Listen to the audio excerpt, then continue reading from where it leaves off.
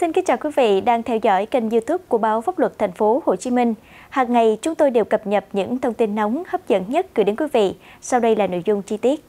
Từ ngày 1 đến ngày 5 tháng 10, Lữ đoàn 101 vùng 4 Hải quân đã phối hợp với Trung đoàn 917 Sư đoàn Không quân 370 và Lữ đoàn Không quân Hải quân 954 tổ chức huấn luyện hiệp đồng đổ bộ đường không tại thành phố Cam Ranh, tỉnh Khánh Hòa.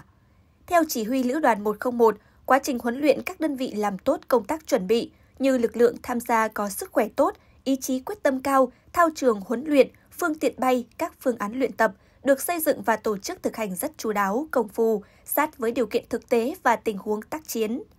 Tuy huấn luyện với cường độ cao, phương án tác chiến khó như địa hình cơ động, tình huống phức tạp, cán bộ chiến sĩ Lữ đoàn 101 đã chủ động có nhiều cố gắng, quyết tâm cao, tổ chức luyện tập phân đoạn phù hợp với điều kiện tình huống tác chiến.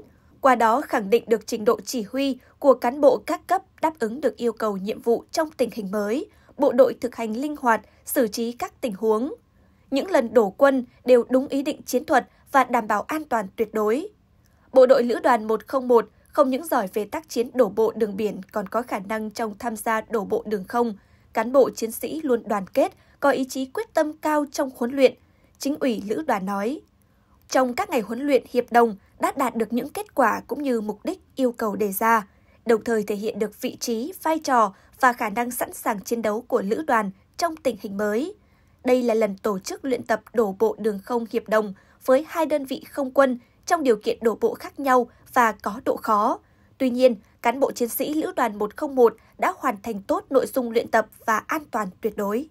Những thông tin vừa rồi đã khép lại chuyên mục của chúng tôi. Cảm ơn quý vị đã luôn quan tâm, theo dõi và đồng hành kênh YouTube của báo Pháp luật thành phố Hồ Chí Minh. Xin chào và hẹn gặp lại.